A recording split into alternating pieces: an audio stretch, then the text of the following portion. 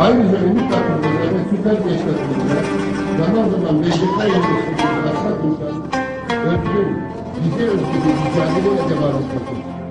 göreve geldiğimiz günden başlayarak bugüne dek gerek şahsıma ve gerekse yönetimdeki arkadaşlarıma reva görülen ağır hakaretlere cevabın ancak ve ancak kurulumuzda verilebileceğinin bilincinde bulunmaktayım.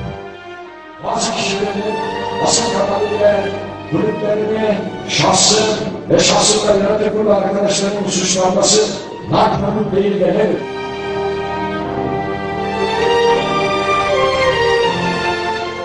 ...1984 yılında huzurlarınıza hangi heyecan ve duygularla gelmişsem...